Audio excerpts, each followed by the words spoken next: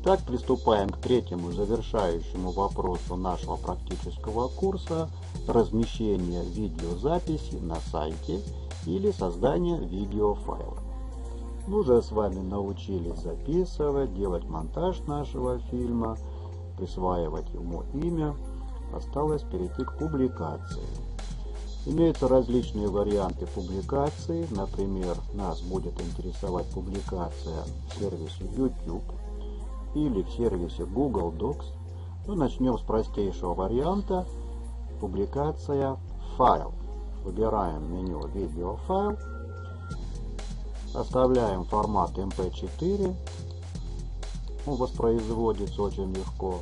Не меняем размер. При необходимости это можно сделать и нажимаем кнопочку «Сохранить видео» Save Video.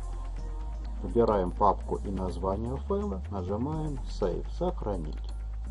Все. Идет сохранение нашего готового видеофильма файл. Этот файл в дальнейшем можно записать на флешку, CD или DVD диски или размещать в сети, то есть использовать как обычный файл для просмотра студентами. Достаточно быстро идет сохранение файла на компьютер. В завершении сохранения мы увидим, что этот фильм можно открыть в папке, куда он записался. Вот наша папка, куда мы сохраняли. И вот наш готовый фильм. Давайте его просмотрим. Пошла запись. И вот в ходе этой записи что-то демонстрирую. Мы видим, что все, что мы делали, записывали, потом делали монтаж, все работает замечательно. Итак, задача сохранения видеозаписи файл нами решена успешно.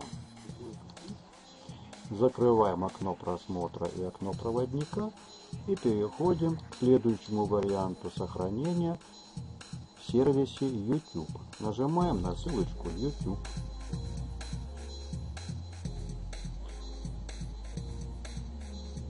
Можем изменить заголовок нашего фильма. Можем ставить описание.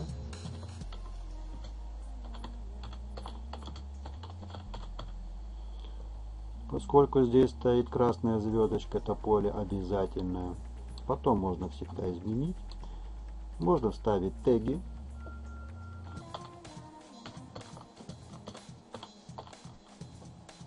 Выбрать категорию образования. И вот здесь очень важно выбрать режим приватности просмотра этого видеофильма. Для многих сотрудников это является важным вопросом. Первый предлагаемый вариант – сделать видео публичным, то есть может смотреть любой желающий. Второй вариант, скорее всего, он заинтересует наших коллег, сделать видео приватным. Смотреть это видео смогут только те пользователи, у которых есть ссылка. на. И, конец, последний вариант – сделать видео вне списка.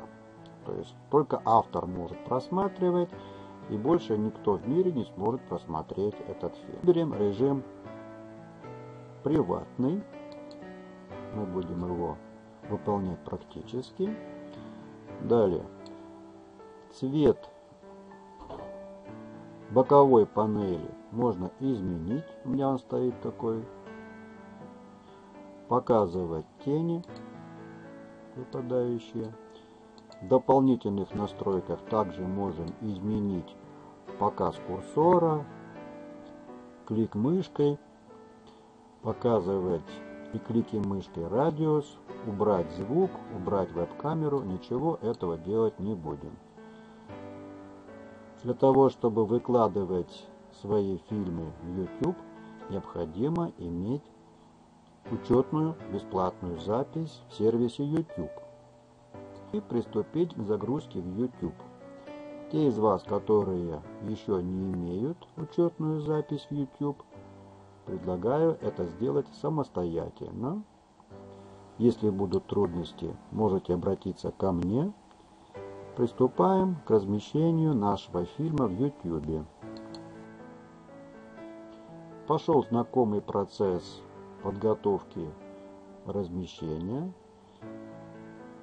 Здесь вначале пройдет а, операция кодирования.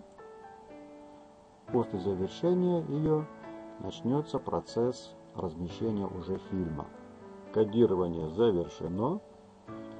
И наконец пошла выгрузка файла в сервис YouTube. Напоминаю, все идет через веб-интерфейс. Появилась ссылка для открытия нашего фильма в сервисе YouTube. Открываем ее.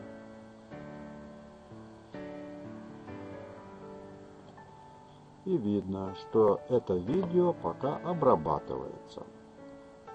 Обратите внимание, что я использовал свою учетную запись. Именно в эту учетную запись и произошла выгрузка. Пока идет обработка, можно изменить информацию о нашем фильме.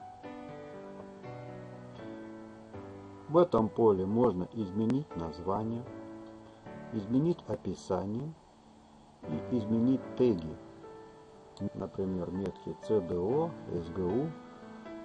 Далее, пока идет обработка, можно изменить лицензию, например, с указанием авторства – и тогда автоматически будет показываться информация об авторе. Если мы хотим давать ссылку нашим студентам для просмотра, выбираем настройку «Доступно тем, у кого есть ссылка». То есть доступно любому пользователю, обладающему ссылкой. Никто другой это видео не найдет.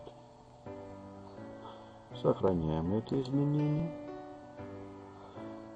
Далее в расширенных настройках можем указать дату записи в YouTube.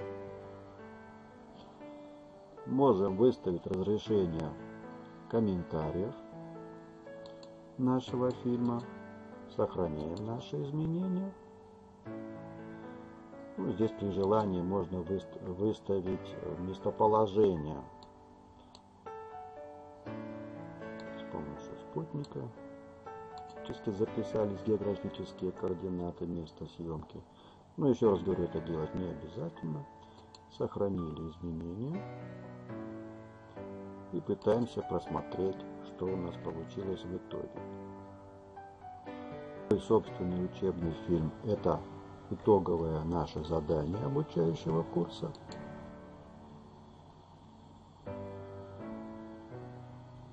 редактировать мой ответ.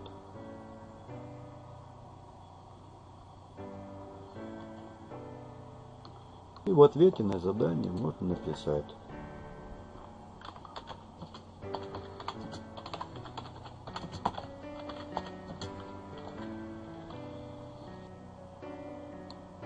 А наш фильм мы сейчас скопируем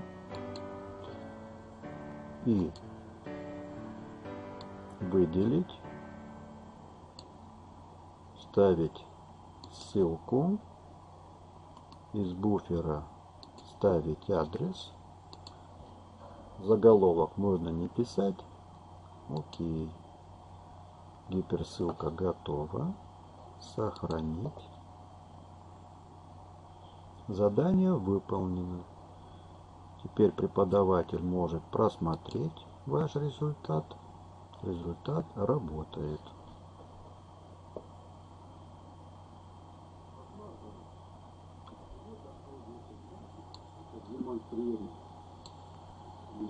Обучаемым, как устроен обучающий курс. Точнее, структура.